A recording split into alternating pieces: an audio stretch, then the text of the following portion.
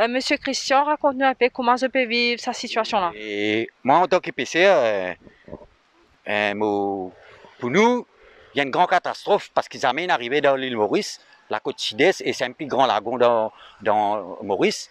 Et pour nous, communauté épaisseur de Maïbou et les environs, il y a une, une, une- une cas bien, bien, bien, bien grave. Bien, bien grave.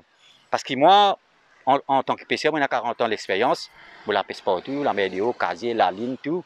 Et moi, j'ai l'expérience, je me connais, qui appelle une, catastrophe écologique marine, parce que, comme on connaît, pas beaucoup un pêcheur qui ne pas connaître, pas dans les années 80, dans Bretagne, il y a les, les pétroliers Erika, qui a été dégâts ça fin de faire.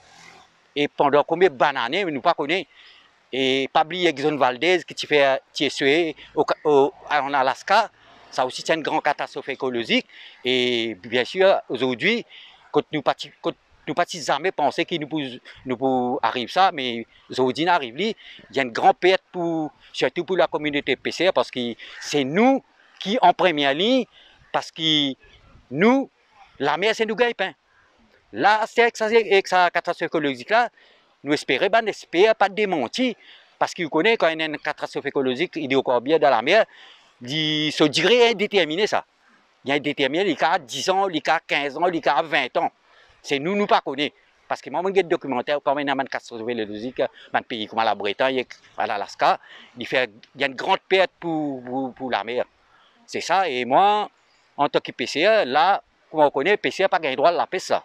Mais PCA la pêche tous les jours, il il se gagne pas. Il il mange aujourd'hui, il y a la pêche demain, il mange demain.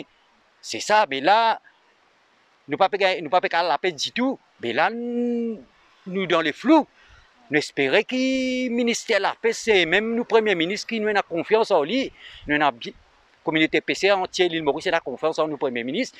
Nous espérons lui remédier à la situation tout de suite, parce qu'il y a PCA, il y a non, non, non, non, là.